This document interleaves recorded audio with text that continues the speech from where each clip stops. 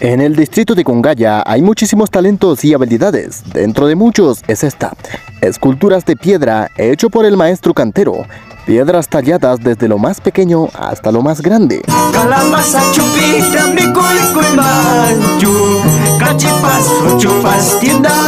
¿Qué tal? ¿Cómo están queridos amigos? Hoy nos encontramos en un lugar bastante interesante y misterioso. Y hoy vamos a revelar algo que no se sabía, algo que ahora ya se va a saber. Hoy estoy acompañado para realizar, para grabar este video con Ronald e Hilmer, que son unos personajes principales para sacar una información bastante misteriosa de este lugar. Kilmer y Ronald son unos personajes que se dedican a tallado de piedras, esculturas, monumentos y entre otros casos muy importantes. Hablando de eso, hablemos diferentemente del distrito de Congaya. Aquí es una de las grandes evidencias como en su iglesia, en los parques, en los cementerios y los dichos casas que son construidos por bloque de piedras, un material bastante distinto, antigua, se puede decir que son más incaico. Es por eso que venimos hoy aquí y estamos justamente en el lugar de donde saca los bloques de piedra para que se pueda realizar construcciones de esa gran masiva. Quiero hacer el énfasis de que estos materiales son incaicas. ¿En qué sentido digo esto? ¿Puedes ver estos piedras? Los puedo mostrar. Esto justamente ya está trabajado. Estos materiales son tallados de piedras que tienen una duración de 200 años. Es decir, si tú te llevas un bloque de piedra de estas y lo guardas en un lugar seco, donde que no entra la lluvia, puede estar permanentemente intacto tal y cual como está. Por eso las construcciones incaicas son tan duraderas y misteriosas que uno no puede imaginar cómo se ha logrado construir de tantas eh, inmensidades y materiales tan duraderas. Son básicamente materiales de como estas. Aquí nos encontramos en la cantera de Yurak Yurak, perteneciente a la comunidad de Putaja, distrito de Congaya. De aquí, de esta cantera, nosotros extraemos la piedra, lo que es Chejorumi. De esta piedra es un material duradero que tiene resistencias durante muchos ciclos. Estas son las piedras que han sido ya extraídos de la cantera que aproximadamente tienen una altura de 2 metros a más. Esta es la cantidad, la altura que nosotros sacamos. Hemos logrado sacar alguna vez por lo menos 3 metros también. Cuando hay pedidos depende para el trabajo. Esta es para una gradería. O puede ser adornos que pueden ir al lado de la puerta para arcos. Pero si hablamos de que quién realiza estos trabajos tan peculiares y misteriosos que pocas veces han descubierto y generalmente hablando nadie lo conoce. ¿Quién es lo que hace? Lo hace la familia Huamán Huacho y obviamente estamos con un partecita de familia. Aquí está Hilmer y Ronald que nos acompaña y ellos son los talladores de piedra para que se pueda ver esos parquecitos tan hermosos, muy atractivos del distrito con Gaya. Señor Hilmer, si nos adentramos el raíz del personaje principal, de que quién comienza por primera vez con este tipo de trabajo? Bueno, este, yo desde niño me contaron, mi abuelo es el afinado Félix Guamán, quien venía más antes tallando eh, trabajos para el cementerio, como ángeles, michos y etcétera. Y por lo cual antes mi abuelo solamente con ese trabajo se podía recurrir para poder solventar sus gastos y por lo cual mi papá es el hijo del señor Félix Guamán Barreto, Augusto Guamán Barreto, quien hasta ahora, hasta el momento, sigue practicándolo. Por lo cual nosotros ya a parecer nosotros lo llevamos en la sangre, el arte de que es tallar de piedra. Y asimismo a nosotros nos gustaría que siga cultivándose con lo que es tallado de piedra, ¿no? Con los nietos y así con los hijos también. Ya, y Gilmer, mira, aquí estamos encima de un bloque gigante, grande. ¿Qué van a hacer de esto? Es una mesa que estamos pensando hacer para un recreo turístico o para alguna zona turística. La mesa es por lo menos 2 metros de largo por 2 metros de ancho y vamos a hacer un espesor de 20, de 20, más o menos una cuarta o si no a 25 Aquí ya podemos ver una cantidad de piedras. Uno al mirar, al observar, podría decir que es una cualquiera piedra. Ojo que no lo es así. Estas piedras ya son unos bloques que ya están vendidos, solamente falta llevar. A ver, si nos decimos para qué sirven estos, estos bloques de piedra van a servir para la construcción de casas y cualquier tipo de veredas o plazas.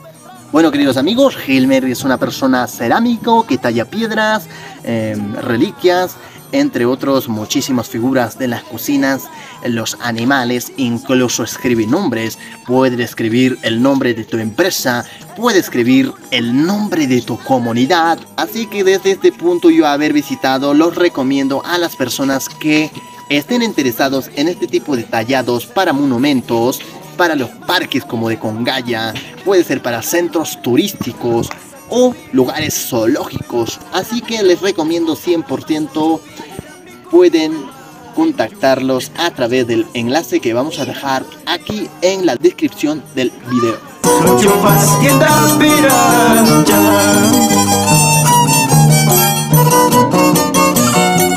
Gracias por tu sabiduría. Aquí ya podemos observar la presencia de restos trabajos que has hecho, ¿cierto?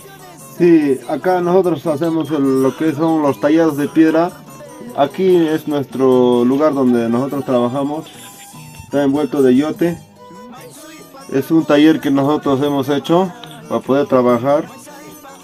Y la mayoría nosotros trabajamos, hacemos monumentos, hacemos todo tipo de trabajos, todo tipo de pedidos cuando nos mandan a hacer bajo un modelo entonces por lo cual acá tenemos una trucha por lo cual esta trucha nos están pidiendo de un recreo campestre donde hay unas zonas donde lo que crecen las truchas.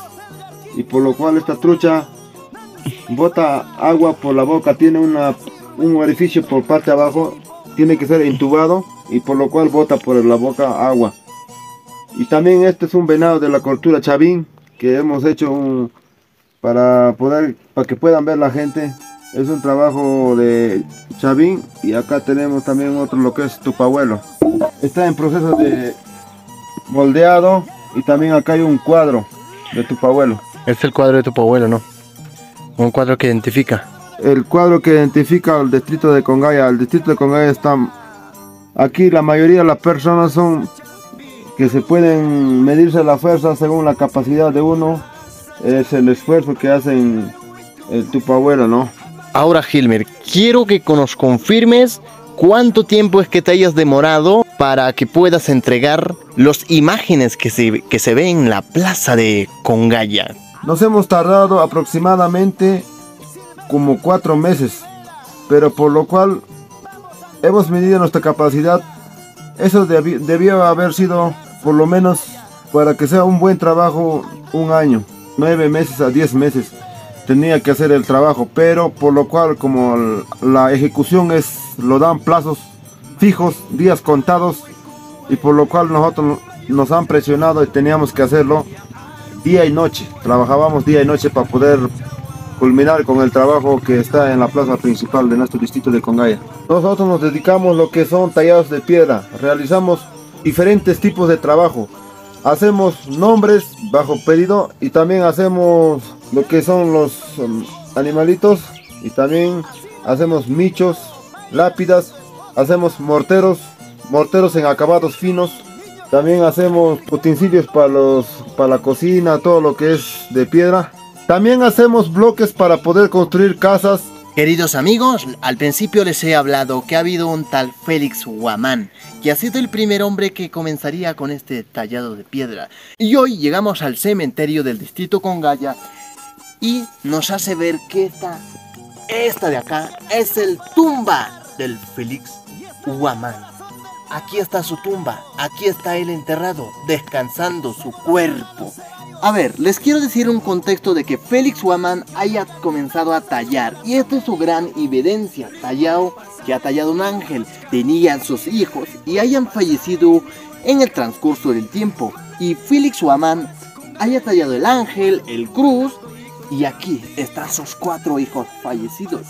Un personaje primero que ha comenzado con el tallado de piedras. Estas son imágenes que cuando yo aún era niño tenía esa edad de 8 años, 9 años, mi papá agarró la contrata, el dueño lo mandó a hacer la reina, lo mandó a tallar la reina y a esa edad yo todavía era un pequeño, pero sí he apoyado pudiendo hacer marcación en lo que es un interior relieve, su rostro, los lijados, traslado y acá en la parte frontal también vemos dos ángeles, por lo cual anteriormente el trabajo en lo que es la piedra era más valioso, pero ahora actualmente ya lo están cambiando por lo que es el concreto.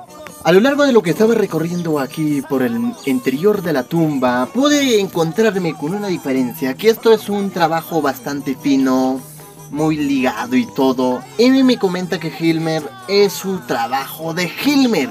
Y me hace entender que esto, a comparación con otros tallados, esto es más fino, más acabado, más presentable. El arte haya avanzado, ha cambiado un poco más.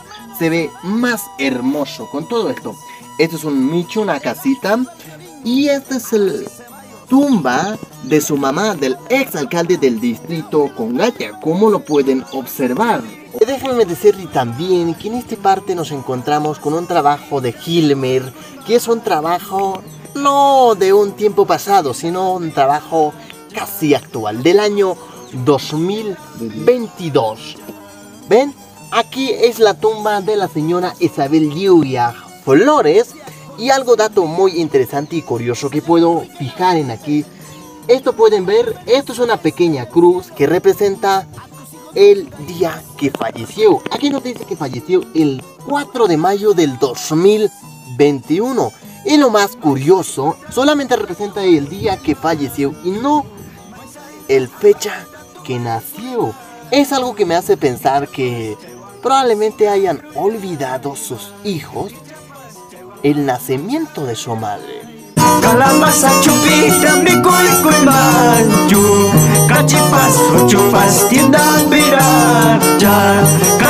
Bueno queridos amigos, aquí viene lo más emocionante. Hoy ya pude llegar a la plaza del distrito. Hace un momento estuvimos hablando en la plaza de que hay cosillas muy sorprendentes y justamente eso es lo que vamos a ver hoy.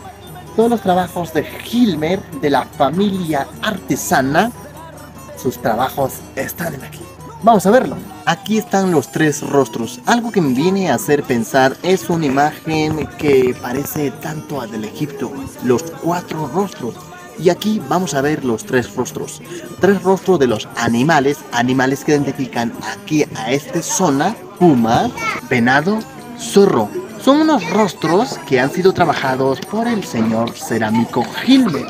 Y lo más impresionante que se puede ver en aquí es el varado, que está justamente en la cima de todo.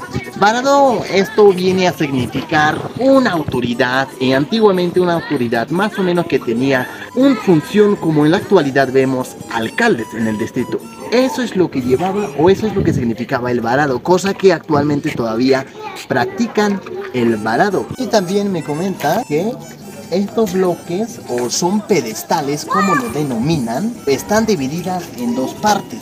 Esta es la primera parte y la segunda parte.